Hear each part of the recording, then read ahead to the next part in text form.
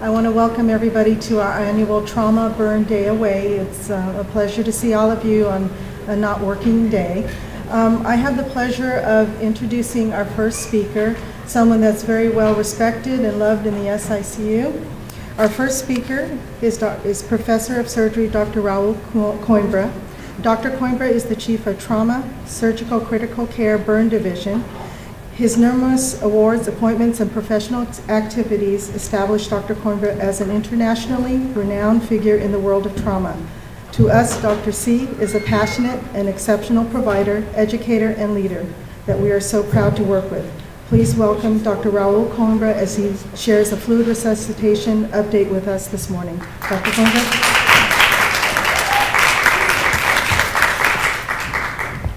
Thank you, Juana, for your kind introduction. Um, it's a pleasure to be here. You know, this is probably the best conference I go, although I go to a lot of conferences, just because this is put together by us for ourselves. So uh, it's it's good to do this stuff at home. Um,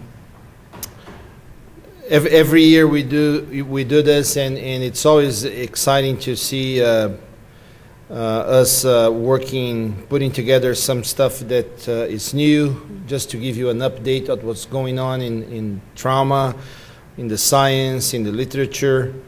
Uh, but it's a, it's a nice venue for us to interact and to uh, work a little bit outside of the trauma center and outside of the SICU.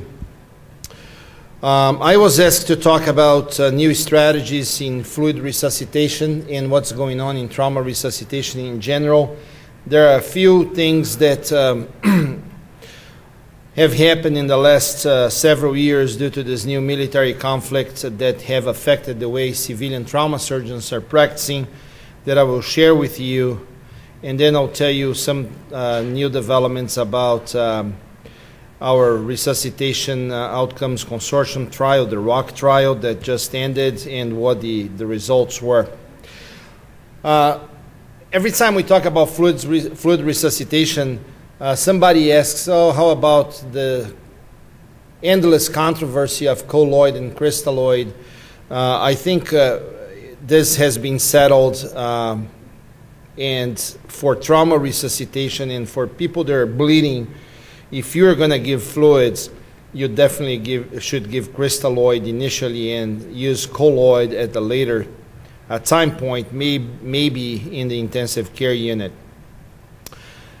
The classic ATLS teaching says that we should give two liters of crystalloid, either normal saline or lactated ringers, to every trauma patient that comes through the door. And that's the way I was trained uh, 20 years ago, and that's how most of our trauma nurses that have been doing this for a long time were taught as well. And if you remember, not long ago, uh, we were still getting two, was mandatory to get two large bore IVs and give two liters of crystalloid, and everybody was getting that much. Then ATLS said you give two liters. Morning. You give two liters, you reevaluate, and then if the patient still needs more, you give two more. And then if the patient needs something else, maybe you should start thinking about blood. So in the process of care, two liters, reevaluation, two more liters, reevaluation, maybe blood. So blood came a lot later than, than we are using it now. So this was the classic teaching, and I'm just presenting this to you because this, this is changing, changing very rapidly. And there are two questions on the table now. One is whether or not aggressive fluid resuscitation is necessary at all. Do we need to give that much fluid to trauma patients? And the second question is should we be using very little or no crystalloid and start blood transfusion instead? So the, this paradigm is shifting again, and the two questions are we give fluids, should we do it? Should we keep doing it? And if the answer is yes, are we doing the right, are, are we using the right one? And then uh, I always think about ATLS not as, as the end of the line, but as the beginning. So if you think that ATLS is what trauma care is all about, you know, that's wrong because ATLS is just what we do in that first 30 minutes or so. And I always question myself, can we do better than ATLS? Can we do something beyond ATLS that will help us? And I think one, obviously one of the things is how quickly you recognize that someone's in shock. And recently, a lot of people have explored the use of vasopressors instead of fluids for trauma patients, and I think that's still not uh, uh, ready for prime time. Uh, the, the consensus nowadays is that trauma patients, if they need something, they need volume and they don't need pressors. There were some studies done recently using vasopressin and norepinephrine uh, in um, animal models of hemorrhagic shock, and the data looked pretty good. Everybody got excited. But remember, humans are not dogs and or rats, and what you do in the laboratory has to be translated to clinical practice. But we got to be careful about that. So at this point, vasopressors are not ready for prime time. Maybe in the future we'll learn a little more about it, but that's not what we are using. But some things have changed, though. The, the, again, as I said, the priority before was to give fluids. Now the priority is to control bleeding and then give fluids. So we, we inverted things a little bit. Uh, it, it, matters how quickly you put your finger in that blood vessel that's bleeding, or you embolize the, the pelvis that's bleeding, or you take the spleen out. And perhaps that's more important than giving a lot of fluid up front, and I'll explain to you why. And the new trend is to give blood and FFP a lot earlier than we used to in the last, you know, five years ago or so. One thing that uh, we are blessed to have here in this trauma center that is not something that everybody has in, across the country is the opportunity to take people from the street into the operating room. So we have this great OR resuscitation protocol that uh, you're going to hear in great detail later today. I'm just going to use this to, to introduce that topic. But we have there are a number of uh, criteria that we use, five of them, uh, five criteria that we use to take people that are unstable from the street straight into the operating room. And I think when you, when you, when you think about it, you know, we just take it for granted because we've had it for a long time. But it took us about 20 years to co collecting data to show that that resource is really valuable, that that resource is really important because you you may not know, but every year, uh, I I I receive a lot of pressure from the administration and from other surgeons to give that room away. So I tell people we have only 10 ORs in the main OR, and they say, no, we have 11. I say, no, we have 10 because that one is ICU real estate that we use for resuscitations, but they want to take it away. So one way we can maintain that resource is to show to people that it's very important, it saves lives. Well, but we don't do that very often, and we use that maybe 50, 60 times a year, so it's about once a week. And it took us 20 years to accumulate enough data, but finally we did. About two or three years ago, we wrote the first paper on OR resus, and what we did is we compare mortality uh, of patients, mortality rate in patients that have very little injuries. Guys that have an injury that mortality is greater than 70%, and if they go to the operating room straight from the street, it means that they are sicker than if they go to the trauma bay. But yet, we have a small number of patients that went to the trauma bay with those little injuries, and for whatever reason, they were more stable. So we understood that we are not comparing apples to apples because this group is stable, this group is not stable. But in the end, what, they ma- what made them equal was that they have lethal injuries. It turns out that if you come in with a pressure above 80 and you don't go to the operating room. Straight, but you have a lethal injury, such as an aortic injury, your chances of dying are 40% higher than if you are sicker but you go to the operating room for an OR resus. So the operating room resuscitation had a 40% higher survival than patients with the same injuries, which were even more stable, but were resuscitated in the trauma bay. And when we look at all the variables, the only difference is that we were able to put our finger in that blood vessel that's bleeding a lot faster. Everything else was the same transfusion, everything else was the same. But what was different is that from admission to control of bleeding, it took us on average for those injuries 12 minutes. And when you go to the trauma bay, no matter how fast we move, and we are very efficient in the trauma bay because of the work we do together, but no matter how you look at it, it's always 35 minutes to 40 minutes until you obtain hemostasis in the operating room because you always do something else in the, in the trauma bay. It's the second IV. Oh, let's get the chest x ray before we go. And let's roll before we go. And let's do this and let's do that. Which is all appropriate because the patient is stable and you should be doing those things, but it takes more time. So there was a, this is a piece of resource that I'm, you all know about this, but I'm very proud that we have it because it's something beyond ATLS that is not taught and not publicized enough that uh, trauma centers should have. So let's go back to this issue of fluids. Are fluids needed at all? So I want to introduce to you this concept of hypotensive or limited resuscitation because this is a really, really a change in paradigm. So the question is, if you were bleeding and your body use its normal mechanisms of uh, homeostasis to form a clot and control that bleeding.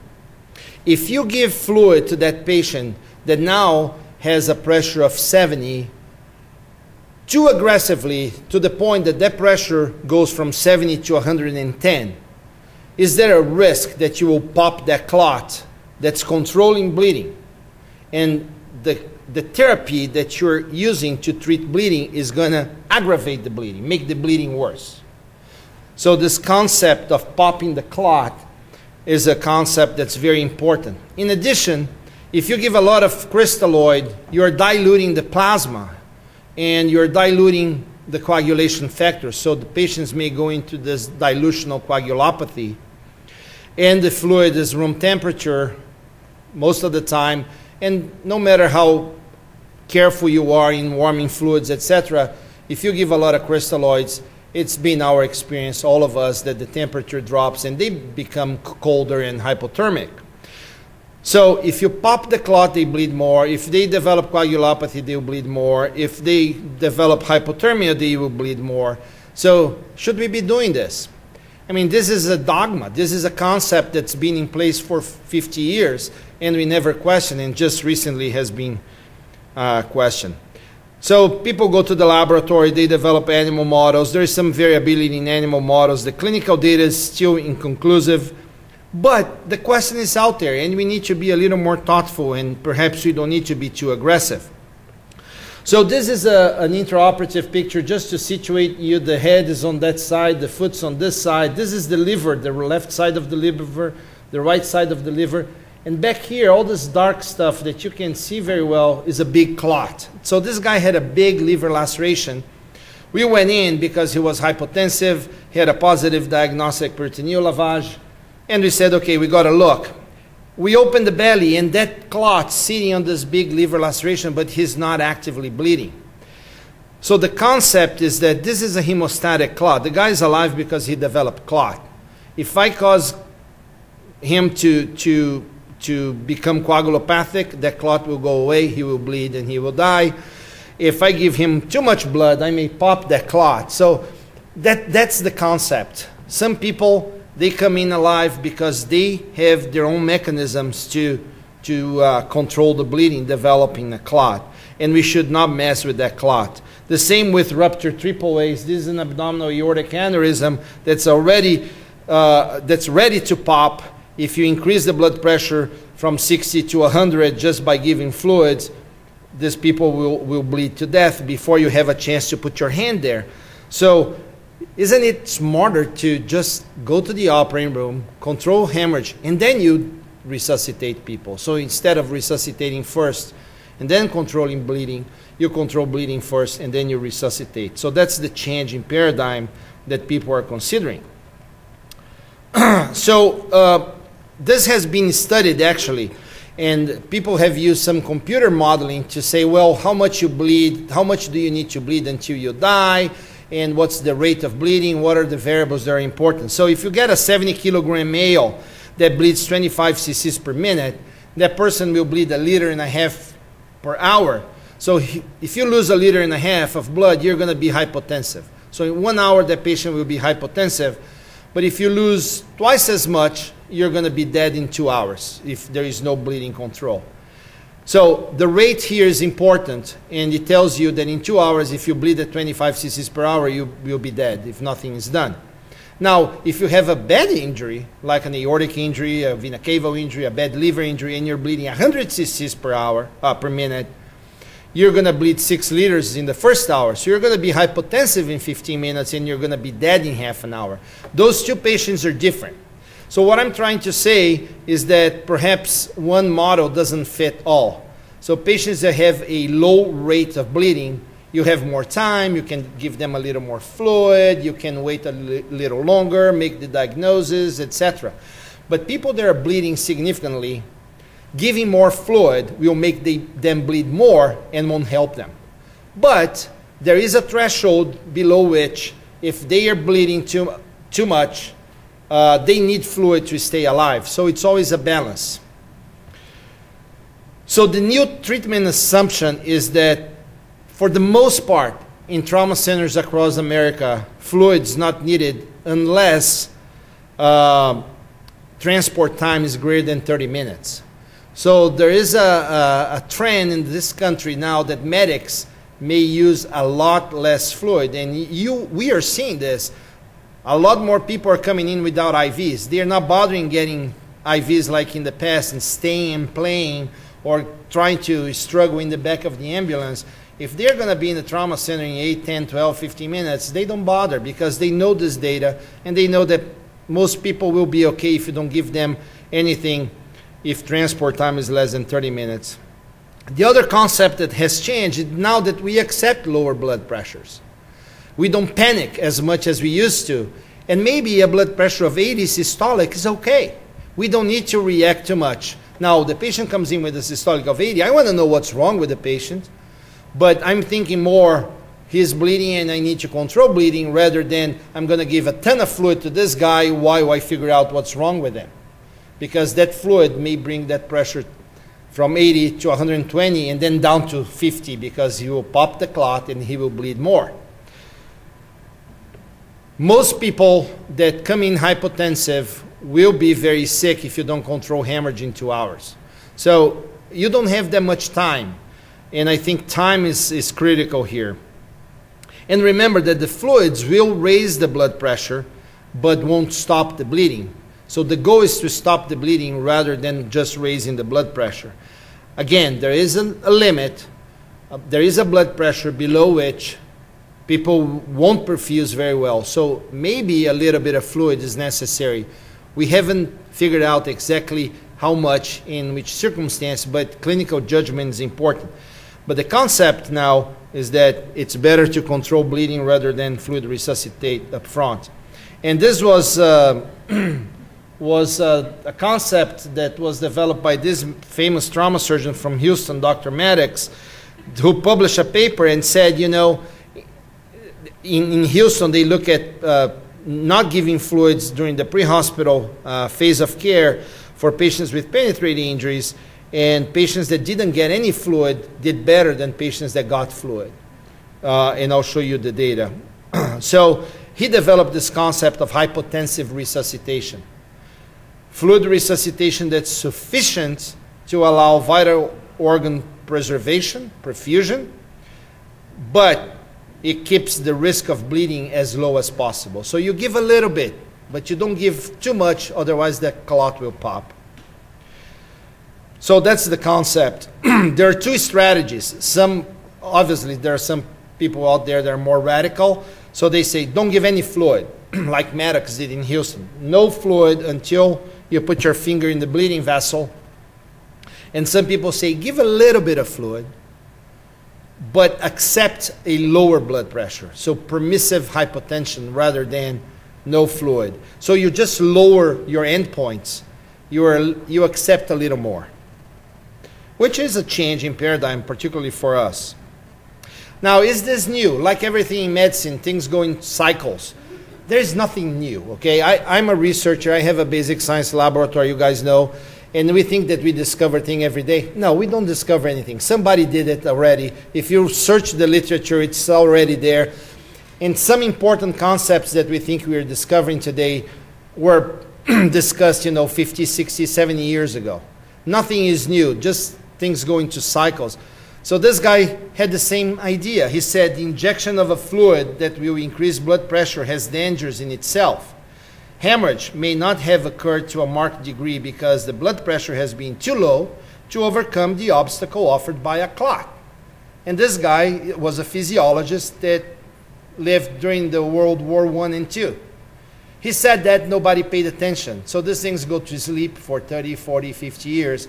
And then some genius writes a paper and does something in the lab and say, oh, I'm creating something new. No, it was there already. We just didn't pay enough attention. But the concept is not, is not new. So there is some evidence. This is the study from Houston. They look at almost 600 people, penetrating injury. To enter in the study, you had to have a systolic less than 90 and they randomized into two groups, give fluids immediately or give fluids only when you control bleeding in the operating room. And they showed that people that didn't get any fluid survived 10% more. And there are several methodological problems in the study, but the study was published in the New England Journal of Medicine. So it has to, has to be a good study. And uh, it's interesting to see how many, uh, to see how how much reaction this paper got from the scientific community when it was published about eight years ago. Now, there are other, other studies that have looked at uh, hypotensive resuscitation. and this is the study that showed that if transport time is less than uh, 30 minutes, uh, there is no benefit from pre-hospital uh, resuscitation. So if you're going to get to the trauma center quickly, you should actually scoop and run instead of stay and play. And control bleeding is more important than uh, um, fluid resuscitation. This is an interesting one. I'm just showing this because, you know, I had a professor when I was a medical student that said to me, kid, a piece of paper accepts anything you write on it. The paper will never complain. So the, a piece of paper is the best friend of a scientist. And that stayed with me my whole career. Then I read a paper like this published in a good journal, and, and I really understand that a piece of paper accepts any crap you, you want to write on it, you know. I'm not saying this is too bad, but read this. So this Dr. Demetriades is a famous trauma surgeon in Los Angeles. I have a lot of respect for him, but about several years ago, he, he looked at outcomes in patients transported by EMS to USC LA County uh, by private vehicles or the police so that he compared EMS versus every other transport type. And after controlling for multiple factors, according to him, unrelated to mode of transportation, patients that came in by private vehicles or by the police or were dropped at the front of the hospital by train or whatever, they were more likely to survive than patients transported by EMS. I don't think the EMS in Los Angeles County was very happy with him when he published this paper the medics probably hate him. But he said this effect was greatest in the most severely injured patients. And delays in transportation and the use of intravenous fluid may contribute to increased mortality. I mean, this is a smart man. And with all kidding aside, even if this is a bad study, the methodology is not right, and if there are problems, the idea is there. We gotta revisit our principles and our dogmas, the things that we take for granted, the things that we've been taught, and double check them every, every once in a while because we may not be doing the right thing. And what's right in 1980 may be not the appropriate thing to do in 2010. But the idea is there. This concept of maybe fluid's not necessary, maybe we give it too much, maybe we spend too much time. And then there are other studies, uh, but nobody can define just yet what's the lower limit that you accept in terms of blood pressure that you don't need to react to it immediately. Then there are animal studies. The, the models are all inconsistent. It's very difficult to look at the, the studies in animals and try to, try to translate it into clinical practice. But, you know, I think that when I look at all this literature, the summary for you today is that the best strategy hasn't been completely defined. One thing I'm absolutely convinced that one protocol does not fit all. If we think that you know, things like ATLS that say two liters to everybody is the right thing to do, that's wrong. We gotta, we gotta tailor our approach according to what the patient physiology is. But most people would accept a systolic of 80 to 90 uh, as reasonable. Although there is not great data, that's what most of the studies are showing. You don't need to react too much in terms of fluid resuscitation if the systolic is 80 to 90. If that happens, you need to focus on controlling hemorrhage and figuring out where the patient is bleeding from. And perhaps you need to give enough fluid to keep the blood pressure at those levels. But we don't need to flood those people with crystalloid. Now, we, the nurses that have been around for a long time, uh, I'm sure you've realized that we don't see patients with ARDS after resuscitation anymore. ARDS seems to be a disease that is disappearing in the ICU. I, am sure you remember 10, 15 years ago, we had young people that received 30, 40, 50 liters of crystalloid. The next day, the lungs are white. They are on the ventilator for a week. We got them through and they survived for the most part. But we don't see those things anymore. Why? I'm sure it's because we are giving a lot less fluid. And when we resuscitate them, we are being a little more aggressive in giving blood and FFP earlier rather than later. So it, I think we changed it already, even if we don't, we didn't say that clearly. Uh, uh, we we already changed our practice, but this is why things are changing because people are accepting a little more hypotension and, and uh, less fluid resuscitation. Now, let me tell you a little bit of bad news because you all know that we've been involved with hypertonic saline research for many, many years in this trauma center. And recently we participated in the ROC trial. And uh, we had uh, an expectation that using hypertonic saline, and, and, which is, makes you use a lot less volume than lactated ringers, you would provide enough fluid resuscitation and tissue perfusion, and at least hypertonic saline should be equal uh, in terms of effectiveness as compared to, to crystalloid, LR, or normal saline. The NIH funded the study. $50 million were spent in 10 centers in the United States and Canada. We did two studies, one in shock and one in traumatic brain injury. Both studies were stopped for futility because there was no difference. So I think this is the, the death of hypertonic saline uh, in, in, this country.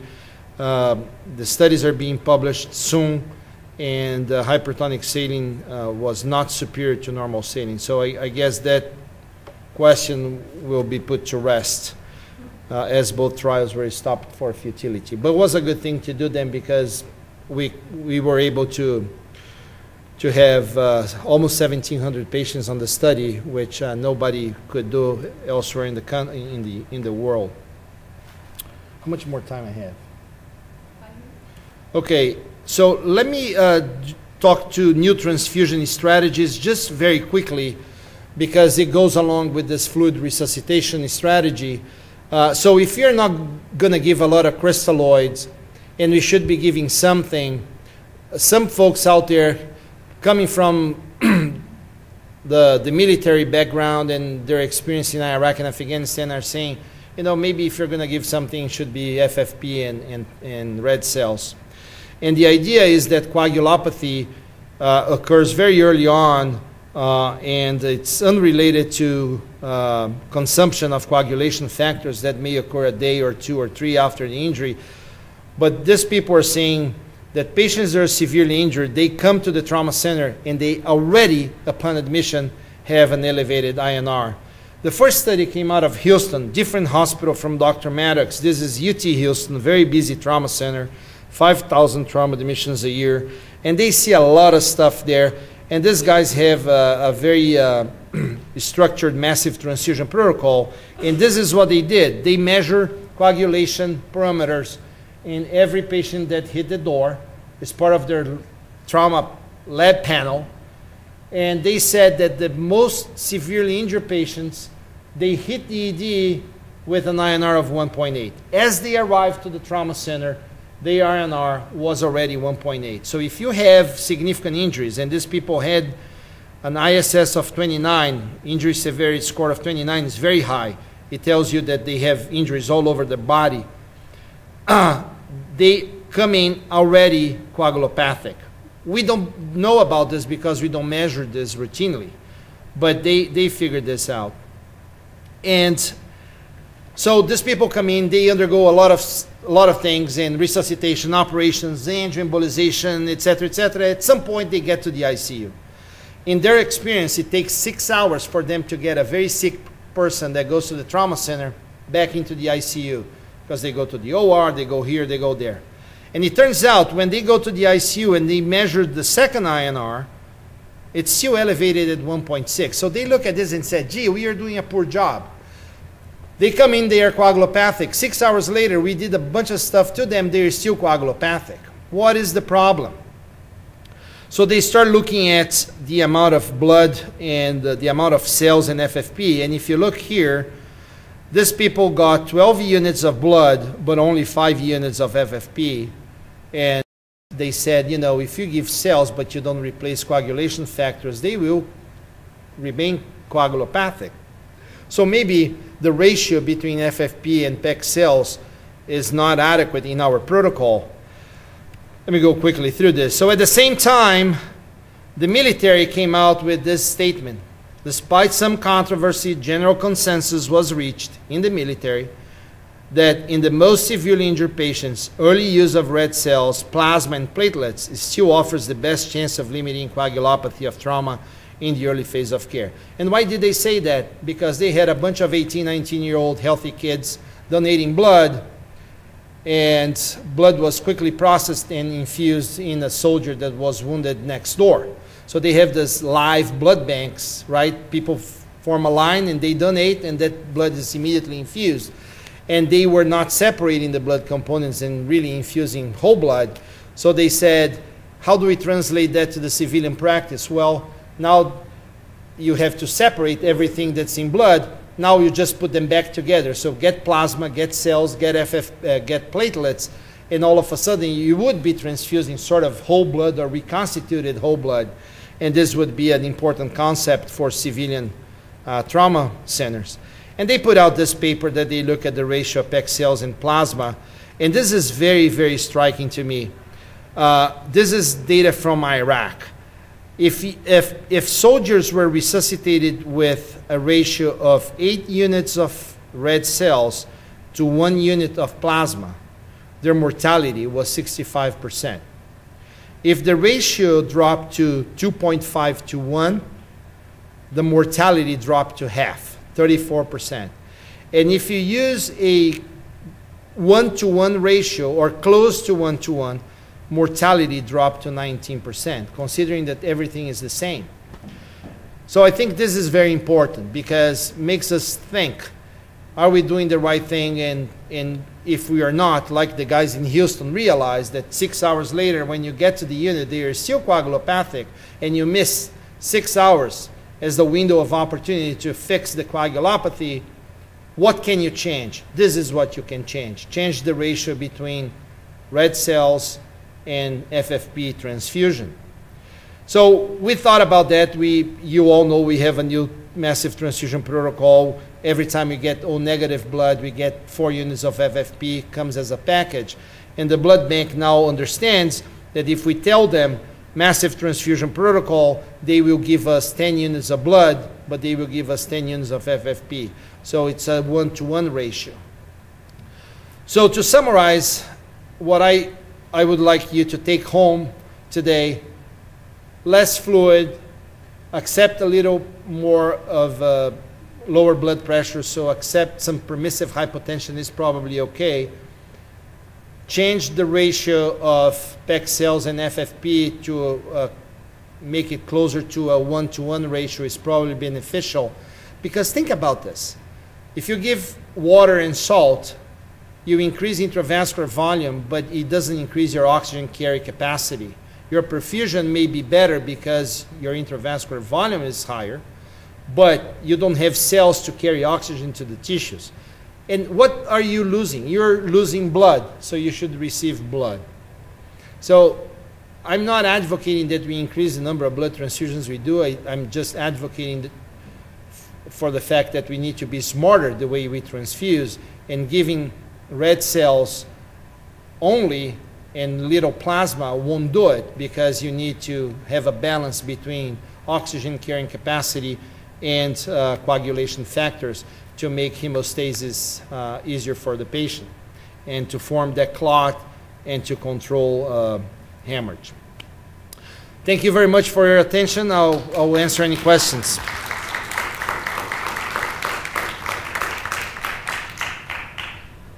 Dana, what's up? A resurgence of whole blood coming around, or do you think they'll continue to fractionate?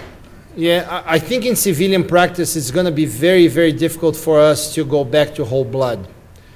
Um, because, it, you know, blood transfusion is not just used for bleeding, right? So there are a number of other diseases that benefit from component transfusion. And I think it's going to be very, very difficult to change that culture again and go back to whole blood. I don't think the fractionation is a bad thing. I just think that we may need to be uh, more proactive in trying to reconstitute whole blood. Now, let me tell you this. If you get a, a bag of whole blood, it has a crit of 45, has about 120,000 platelets, and most of the coagulation factors are at normal levels. If you get a bag of FFP, a bag of cells, and 10 packs of platelets, and put it all together, what you get in the end is a crit of 33, not 45. You get about 89% of the coagulation factors in terms of their levels, and you get about 85,000 platelets, not 120,000. So the reconstitution is not the real thing, but it's as close as you can get. So one to one will probably get you to as close as you can to whole blood, but it's not whole blood. But it's better than crystalloid. So I think those things are changing very rapidly. Uh, I'm sure some of you have seen us ordering a little more O negative blood in the resus room for people that come in hypotensive with bad pelvic fractures. We had an open pelvic fracture recently. And what uh, we are trying to collect some data uh, and we'll look at this uh, population um, when we have enough data. But our clinical impression now is that these people are staying less time on the ventilator, they're developing less organ failure, they are getting a lot less crystalloid, they have a lot less uh, pulmonary failure than before. So, considering everything, I think uh, these are new paradigms that we need to be uh, uh, thinking about, and I, I, hope this presentation uh, will bring you up to speed on that. Thank you very much.